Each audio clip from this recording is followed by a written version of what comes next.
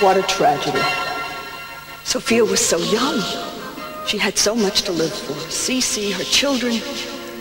Oh, those poor children.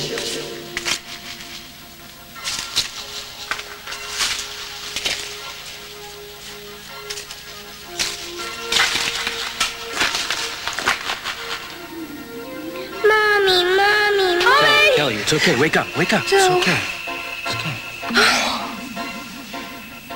You're having a heck of a dream there. Heard you call for your mother. I'm so glad you're here. You okay? It was an awful dream. What were you dreaming about? My mother's funeral. Joe, for some reason I have been dreaming about her lately.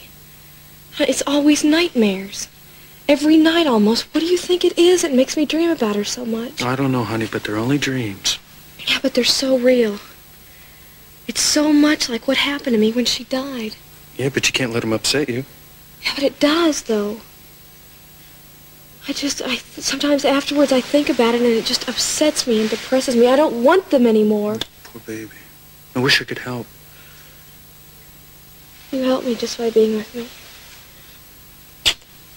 Yeah, I'm gonna be here with you for a long time.